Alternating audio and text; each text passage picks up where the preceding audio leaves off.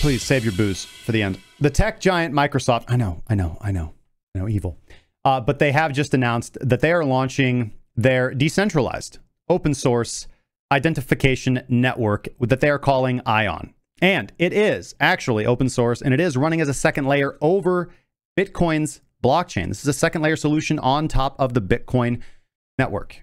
Right Now, this technology is going to aim to provide you, the user, Probably not you, because if you're watching this channel, you're probably not going to use this. You're probably filling up the comment section right now with how evil Microsoft is and how dare I talk about Microsoft right now. But it's aimed to provide you, the user, with the ability to create a decentralized digital identity, a digital credential, right? That you can use to, it's like a driver's license, university diplomas, or even, again, yes, here we go, digital immunity certificates, which could be used to accurately identify individuals online. Alternatively, these digital credentials can be used to log into websites or applications that uh, that uh, support the credential system, right? So very similar to any kind of signature system.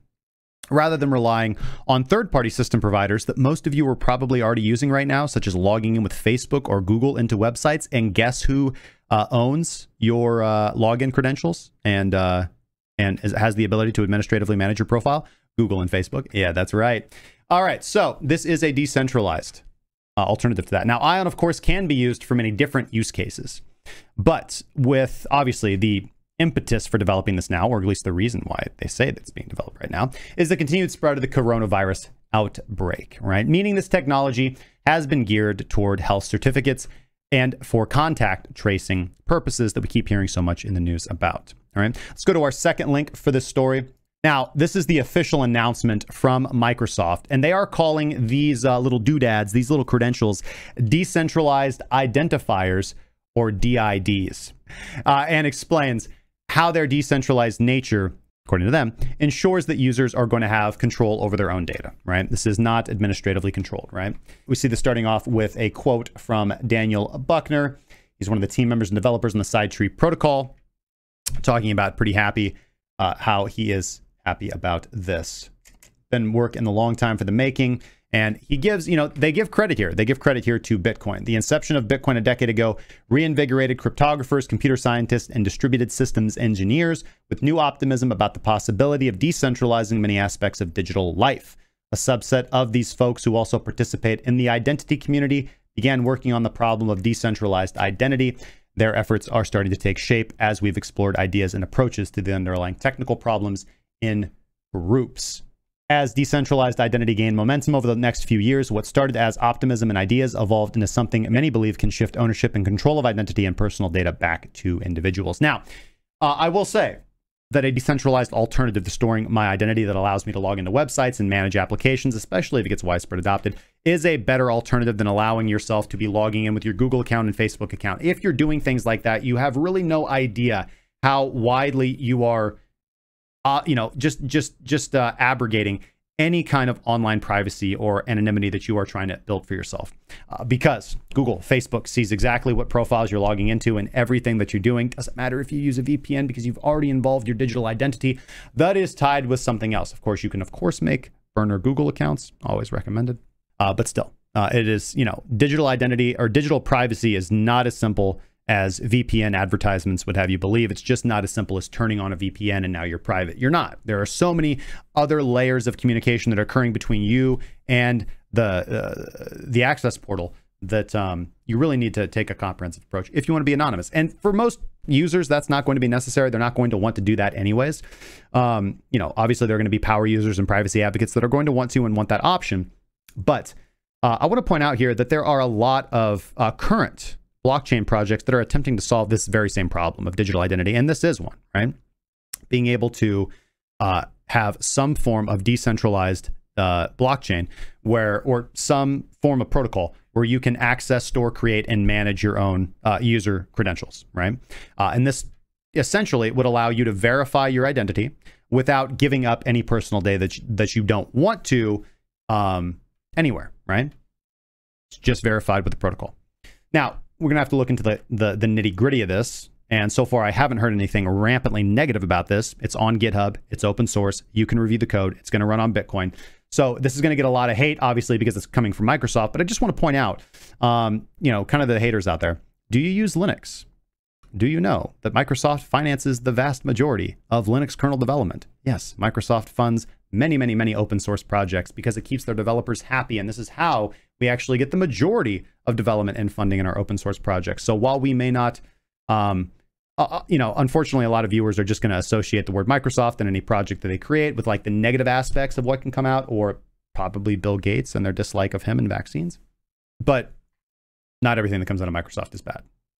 Whether this is good or bad, I don't know. But for example, Blockstack, which is a project that I quite like. I had the pleasure to sit down with Jude Nelson at San Francisco Blockchain Week. He actually did the intro for today's video, and you guys can check out our interview in our cryptocurrency uh, playlist. But, uh, you know, Web 3.0, Blockstack is attempting to build Web 3.0. They're doing a very good job of it. And it has that kind of same concept, right? Where you create one digital identity that's verified with the Blockstack network, and you're able to log into all, all, all websites on the Blockstack network which is very convenient, right? This has been a problem for a long time. This is a huge problem that we have every single different website. You have your own username and password. You got to use a password manager. That's the central point of failure.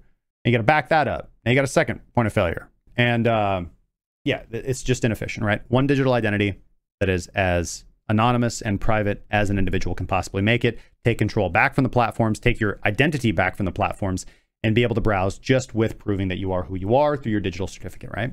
So these DIDs, more like DI don'ts, yeah, are a new type of identifier that enables verifiable and decentralized digital identity, right?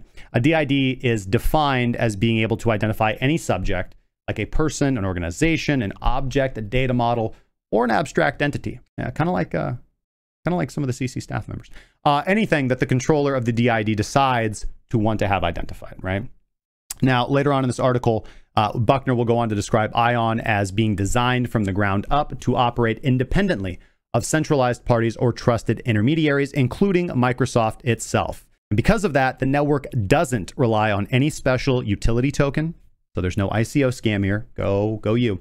There's no trusted validator nodes, avoiding the Hive scam, or any additional consensus mechanisms. Because, as he explains, Bitcoin's linear block chrono chronology is the only consensus ION requires to operate. So they're going just off of the blockchain of Bitcoin, right? And the private keys for your digital identity here are never going to leave your hands. All ION operations are signed locally on your device. So uh, because they're signed locally on your device, you do have some assurance that only you, the user, can modify the state of your digital uh, of your DID no matter how you choose to interact with the Ion network, right? And they, they are going to be rolling out or have rolled out the public test net so Ion users can start creating their own DIDs and authenticating their login to sites, apps, and services that do support the uh, the standard. It's called OpenID self-issued DID is the is the standard. And additionally, enterprise applications are going to be made possible. So companies, other organizations could use Ion to issue digital credentials for their employees, for their, you know, for their contractors. And, you know, so kind of looking ahead on the roadmap for Ion, right? They do plan, obviously, as all small communities want to do, grow the network's community, gather feedback, contributions, which includes exploring new use cases, as well as sponsoring hackathons, right? So this is this is good. I like to see this. I like to see uh, you know, well-funded but DIY and community-driven initiatives and projects, right? With GitHubs, public repos, and the ability to contribute and make the make the network greater. I don't like privatized, centralized things, but again, one of the reasons why those can be better out of the box is because they're well funded, right?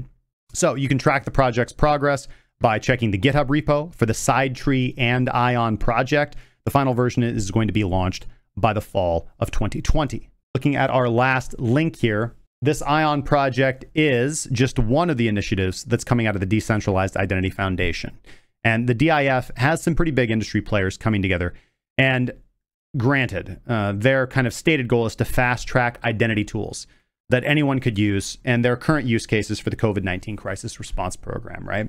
One of the big things that governments around the world keep mouth breathing on is contact tracing. There's no way to do this effectively. Although this would be a better way to do it, I do not think that this is going to be rolled out in time or receive enough adoption to make that any more viable, which means to me the idea of contact tracing is absolutely insane. It's not going to work. You know, almost every group, I wouldn't say almost every group, but there are many, many groups in the blockchain industry scrambling to come up with use cases, right? Um, you know, for, for digital identities, right? Whether that be partnerships with government agencies that, you know, want to replace the whole key card mechanism of identity verification, uh, or again, for some sort of contact tracing and to track the spread of infectious diseases, which seems, again, far more unrealistic to me. Uh, the, the invasiveness of, of what would be required to pull that off with any degree of efficiency is absolutely ridiculous. There are, of course, I'm certain, uh, and according to the founder of the DIF, conversations going on with governments, but nothing, no agreements have yet been reached. But developers are moving pretty fast. Projects are jockeying for position to demonstrate to basically any investor, but certainly government authorities out there, that this technology can be powerful at serving the, their identity needs, which is not a bad step forward for decentralization if you do believe in the two line track that decentralization can be embraced by governments. I doubt it, but maybe, maybe, maybe some people are more positive than me. And of course, right, the race is on in recent months for companies to develop any kind of solutions for high tech emergency ID measures because that seems to be a sudden need by governments around the world now. But here's the hot take there's going to be pushback from people who view this technology as controversial or even dangerous, right? Uh, in May, if you'll recall, Elizabeth uh, resigned from her advisory role at ID 2020. Uh, that was a consortium for DID creators, saying she could not be part of an organization overly influenced by commercial interests that only pays lip service to human rights, right?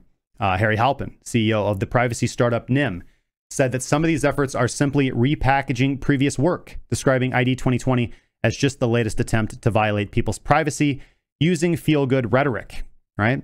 And according to the latter, ID 2020 is just part of a larger business plan of Microsoft and IBM and their ambition to build identity systems that will underpin our future societies.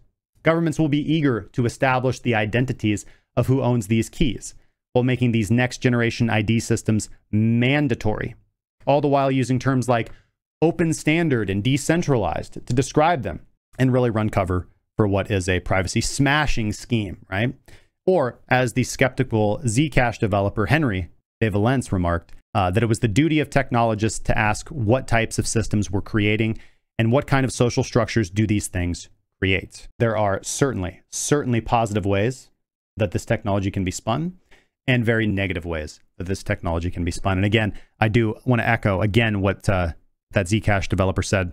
Um, it's really up to us. It's really up to technologists and developers and users of platforms to be active and initiate in which direction these things go and what societies these things create. So let me know your guys' comments down below controversial topic. We get a lot of comments whenever we cover anything that Microsoft does. But I appreciated you guys' comments from the last one where we covered the um, the kind of body motion uh, cryptocurrency generation system. Uh, you know, enjoyed your thoughts on that. This is certainly a run up to that. Do you feel that this is, you know, overall benign? This is a good thing. Uh, you know, echoing back to my arguments of, you know, it sucks that you got to log in for every single website. And that is a, that right there is a huge bash against privacy and, and anonymity. Or do you feel that uh, this is dangerous and that, and that it's inevitable to build technologies like these that do not facilitate and foster private uh, social systems and less private interactions with the private individual, sovereign individual, and government?